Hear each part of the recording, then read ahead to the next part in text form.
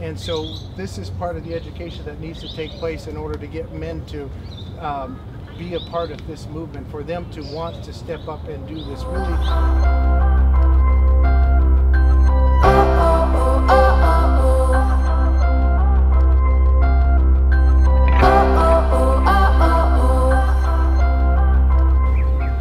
So I want to leave you all with a little bit of a call to action. Um, that response from the first responder is the most critical response. And that could be you. As a mom, a dad, a friend, a coworker, you may be that first responder.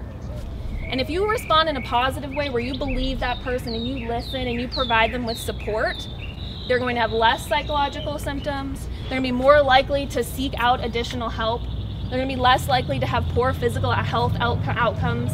So you can really make a difference in changing that path for that person.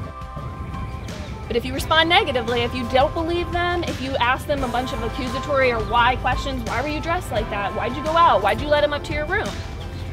That leads to poorer health and psychological health outcomes for that person. They're less likely to seek counseling and help. They're less likely to report to the police. So I would ask all of you to just please be kind and compassionate if someone does disclose to you. Think about how your response can affect them down the line.